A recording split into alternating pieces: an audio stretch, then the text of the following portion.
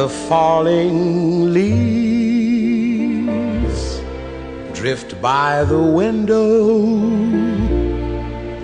the autumn leaves of red and gold.